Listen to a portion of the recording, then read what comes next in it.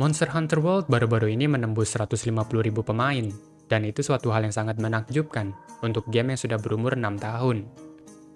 Karena komunitas Monster Hunter adalah komunitas yang simple. Jika Capcom menyuruh kita semua bermain Monster Hunter World, itulah yang akan kami lakukan. Tentu saja banyak pemain baru memulai perjalanan mereka, dan saya akan memberikan beberapa informasi untuk membantu para pemain baru tersebut.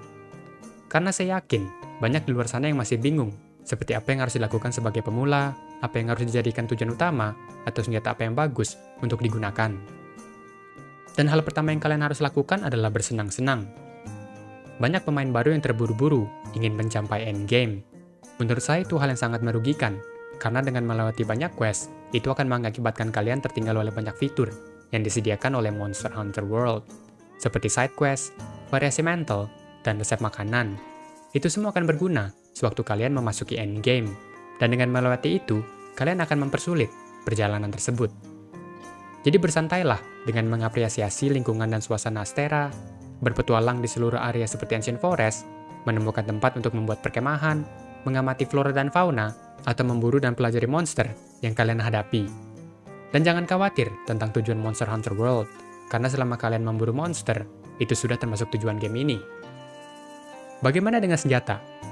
senjata yang bagus untuk digunakan sebagai pemula. Pendapat orang tentu saja akan berbeda-beda. Banyak yang menyebut Charge Blades adalah senjata yang sangat kuat, dikarenakan serangan SAD-nya.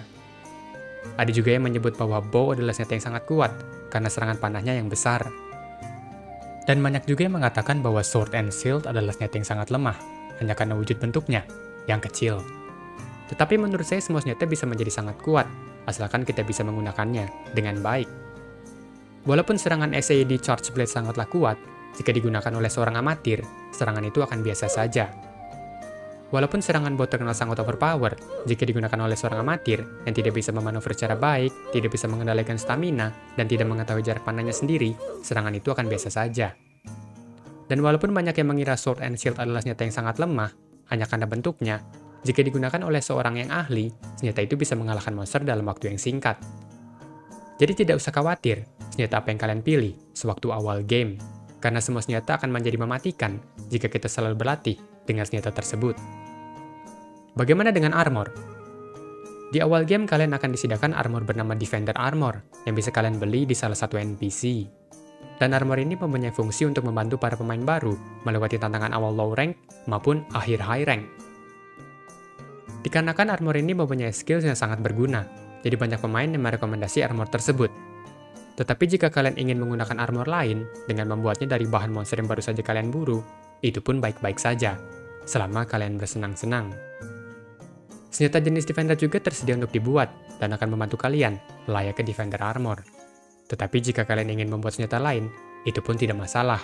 Jadi lakukanlah dan jangan lupa untuk bersenang-senang. Bagaimana dengan monster? Kenapa beberapa monster sangat susah untuk dikalahkan? Jika kalian kesulitan sewaktu menghadapi monster, hal yang kalian harus lakukan adalah berlatih dan mengamati monster tersebut. Karena setiap monster memiliki keunikan tersendiri. Ada beberapa monster yang memiliki bagian tubuh yang keras, mengakibatkan serangan kalian memantul dan melambung. Ada juga monster yang memiliki tubuh lemah, tapi memiliki kecepatan yang luar biasa. Jadi kalian diharuskan untuk mengadaptasi sewaktu melawan monster tersebut dengan berlatih terus-menerus.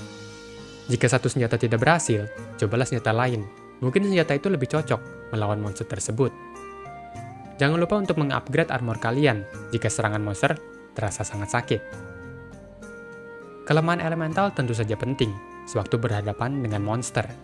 Dan kalian bisa tahu kelemahan elemental beberapa monster hanya dengan melihat secara teliti. Seperti Anjanat yang memiliki kemampuan mengeluarkan api lewat hidungnya. Tentu saja kalian ingin menggunakan elemental air sewaktu memburu monster tersebut. Topi Kedaci memiliki kemampuan mengeluarkan listrik dari tubuhnya.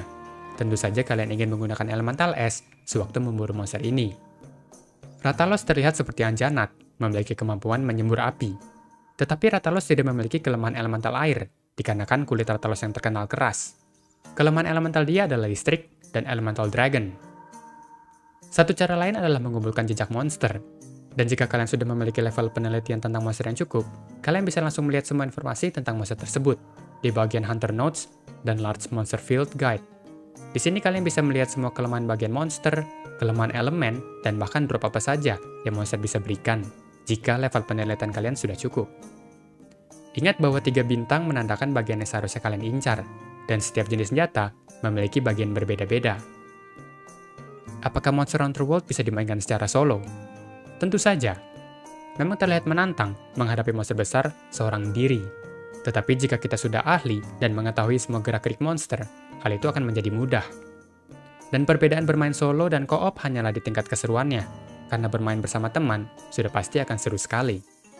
Soal perbedaan mekanik sewaktu co-op adalah HP monster akan bertambah, sesuai banyaknya pemain di dalam satu quest, dan pembagian hadiah Zeni. Untuk pembagian material dari monsternya sendiri, tidaklah berpengaruh. Jadi jangan berpikir bahwa bermain bersama teman-teman atau orang asing akan membuat perjalanan kalian lebih susah. Semoga saja semua informasi ini berguna untuk para pemain baru Monster Hunter World, dan jika kalian juga memiliki informasi untuk para pemula, tulis di kolom komentar ya.